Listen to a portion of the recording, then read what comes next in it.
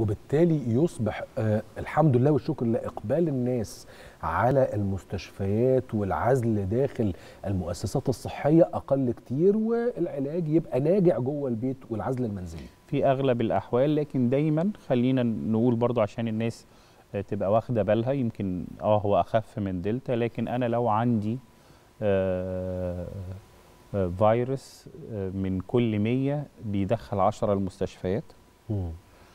وعندي فيروس تاني بيدخل خمسة بس لكن نسبته نسبة إصابته أعلى.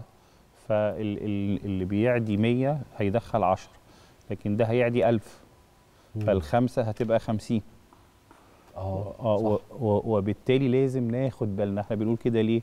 عشان الناس تاخد بالها.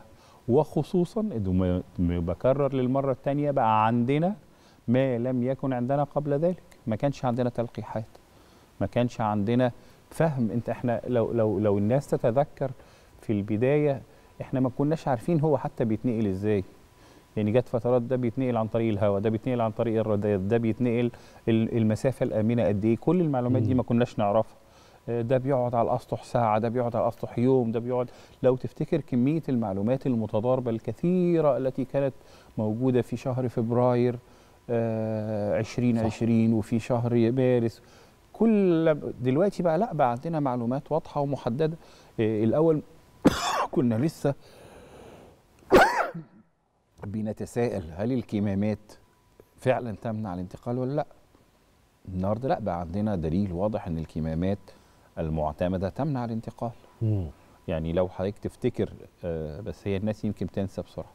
لكن كل دي كانت معلومات ضبابية ما كناش نعرف. النهارده بقينا نعرف فبقينا أكثر علما.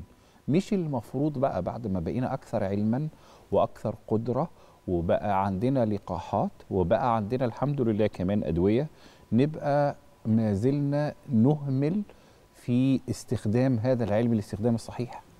طب ما هو إيه فايدة العلم لو ما استخدمناهوش يعني؟ ده هنا الإجراء الاحترازي. طب